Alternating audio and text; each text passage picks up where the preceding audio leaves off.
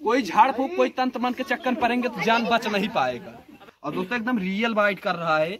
इससे छेड़छाड़ करना अच्छा नहीं होगा, इसलिए इसे पैक करेंगे ले चलेंगे तो एक चीज़ इंपॉर्टेंट चीज़ कि देखी देखा हीरो नहीं बनिएगा।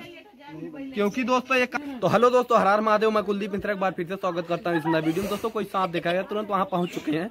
चलते हैं दोस्तों, निकाल दिखाएँगे कौन सा सांप है, आप लोग वीडियो में बन रहिएगा। उससे पहले दोस्तों, अपना आई जो एकदम स्थिर करके रखिए, क्योंकि क्या पता आज का दिन, हमारी ज़िंदगी का आखिरी दिन हो।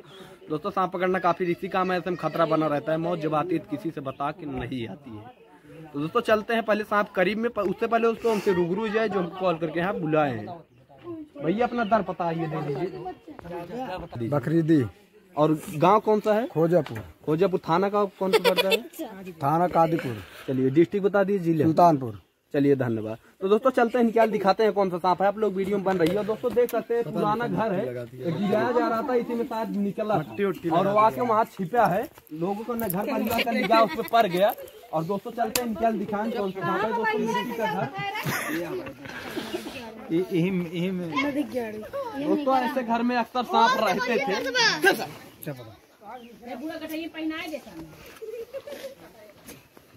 दोस्तों तो भाई कैमरा मैन थोड़ा फोकस करिए अंदर। दोस्तों देख सकते हैं। ले जूम करके। घर में अक्सर सांप रहते थे।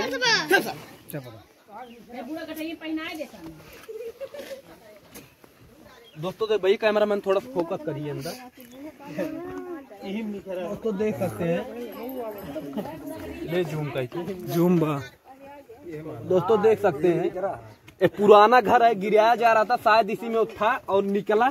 यही छिपा था और दोस्तों घर परिवार का निगाह इसमें पर पड़ गया। हटिए हटिए हटिए। और दोस्तों भगवान का बहुत बहुत दुआ है दोस्तों किसी को खतरा नहीं हो क्योंकि दोस्तों काफ़ी जहरीला सांप है। ये भारतीय नाग है इसी को इंग्लिश में इंडियन स्पाइटियल कोबरा के नाम से जानते हैं और हिंदी में इसे नाग बोलते हैं। और गाँव देहात में इसी को फेटार के नाम से जानते हैं। दोस्तों कहीं कहीं इसे गेहूँ के नाम से जानते हैं और उससे दोस्तों अपना वैज्ञानिक इसे नाजा नाजा बोलता है। इसके अंदर नीरोटॉक्सिन नाम का जहर पाया जाता है, जो कि डायरेक्ट नर्वस सिस्टम पे अटैक करता है और ब्लड को थक्का बना देता है, जिससे इंसान की मृत्यु हो जाती है। दोस्तों, अगर ऐसा सांप आपको काटता है तो आपको डायरेक्ट डिस्ट्रिक्ट हॉस्पिटल जाने की ज़रूरत होती है।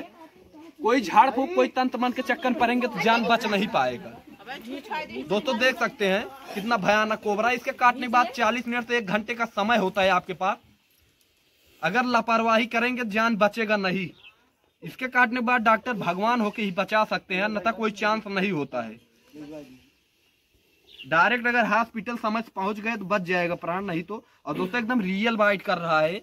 इससे छेड़छाड़ करना अच्छा नहीं होगा, इसलिए इसे पैक करेंगे ले चलेंगे कहीं दूर जंगल झाड़ी, जहाँ घर परिवार का रहन सहन न हो, वहाँ से रिलीज़ कर दिया जाएगा। और दोस्तों, एक चीज़ इंपॉर्टेंट चीज़, कि देखी देखा हीरो नहीं बनिएगा।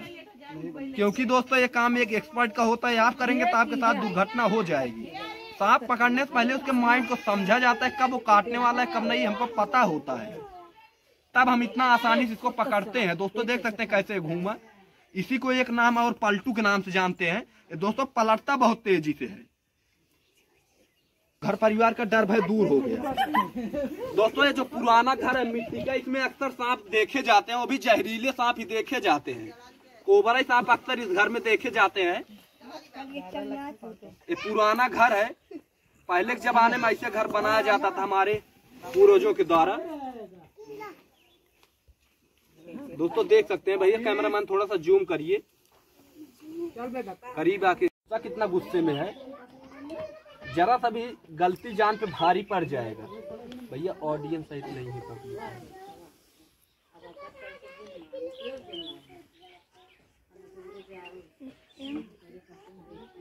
दोस्तों देख सकते हैं। दोस्तों रिश्ते उन्हीं से रखो जो समय आने पर सहयोग और प्यार दिखाए औकात नहीं। जिस व्यक्ति को आपकी कदर नहीं उसके साथ खड़े रहने से अच्छा है कि आप अकेले रहें।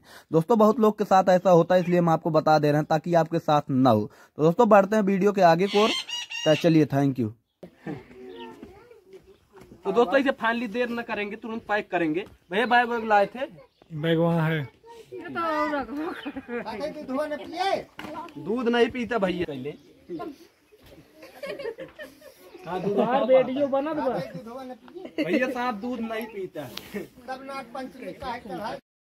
तो दोस्तों फाइनली ये पैक हो चुका है। ले चल के इसके अनुकूलित वातावरण में से रिलीज़ कर देंगे ताकि बाकी का जीवन आसानी से व्यतीत कर पाए। और दोस्तों वीडियो अच्छा लगे तो प्लीज़ एक लाइक करके चैनल पर नए हैं चैनल को सब्सक्राइब करके बेल आइकन आल पे क्लिक करके एक प्यारा सा कमेंट करके ज़रूर बताइए कि वीडियो कैसा है ताकि हमको आगे इस काम को जारी रखने के लिए मोटिवेशन मिल सके।